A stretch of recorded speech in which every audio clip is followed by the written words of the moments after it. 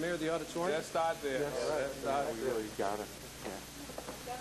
So, Mayor, this area right here used to be a narrow hallway, and this was the auditorium. Used to have 900 seats, but the acoustics were not great, and the sight lines weren't so great. So Now, this, this building I know pretty well, so this will be very interesting seeing the changes. It was all different. Uh, We were, uh, in the beginning, not able to achieve everything we wanted to. Dr. Williams came on board, and he was able to give us a lot of support. The floor that you're standing on right now is made possible by all the support we got from uh, downtown, central office, as well as Simonelli. Well, it's beautiful. It's very attractive. five feet higher than we would have a a year ago. Wow. We'd like you to have your meetings and public events right in here. We really want to open this up to the community. This is great. So before we walk down, let me just show you a couple of things. The wall, these walls actually move so that we can change the acoustical properties of the, of the room. Yes. Up there, we have the students will be working on the sound and the light, and that's all totally high definition. As far as we know, we've researched we're the only school in New York State that's totally HD and digital sound. Really? We have a screen that comes down with a rear projection, and the superintendent are going to throw the best uh, super best Super Bowl party in Buffalo. right over here. You can't imagine That'd be great. clarity. When the superintendent sent his message and he was actually on, it looked as though he was going to walk right out of the screen. So our students' films will be shown there, and they'll be able to do some work and look at other things you know, through, uh, through that kind of technology. That's great. take a walk down if you see the students. The most sophisticated theater of any school in the state. Wow.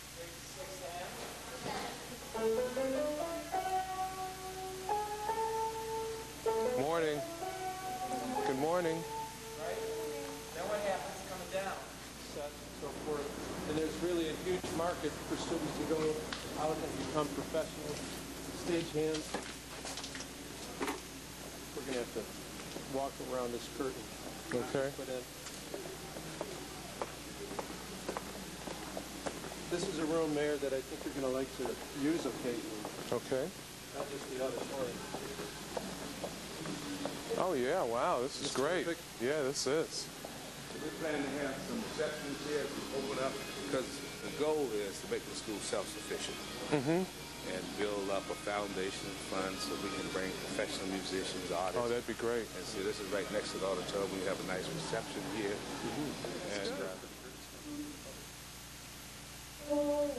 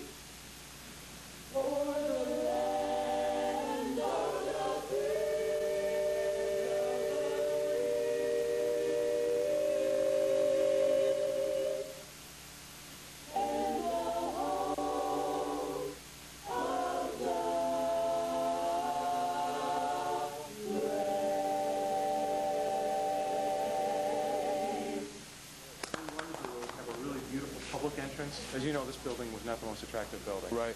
And not the most welcoming. This is what welcomes the people now. So at night, this will be all lightly, or brightly lit. People feel comfortable coming down here and uh, be very welcoming.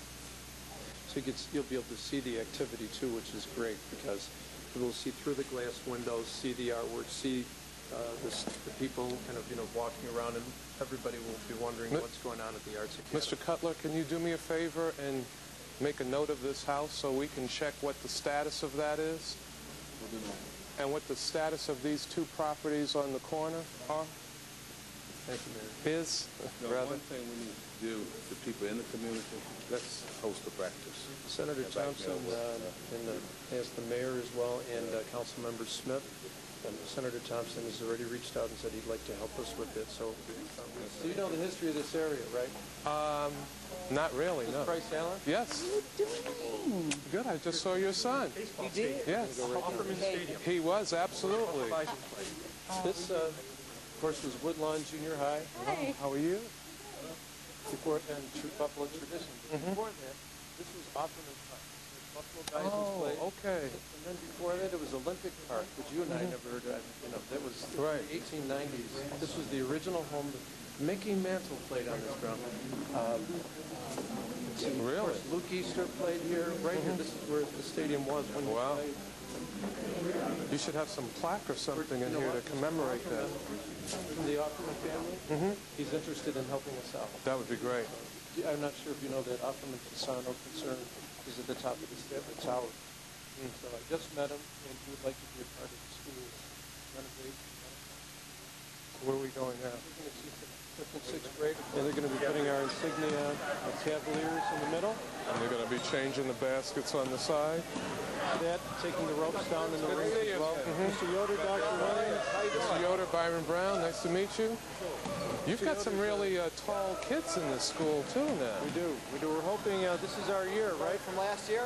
Pardon me? Remember them from last year? I do. City Army? Okay. I do. How's Byron doing? He's doing well. He played a lot over the summer. Yeah, did he?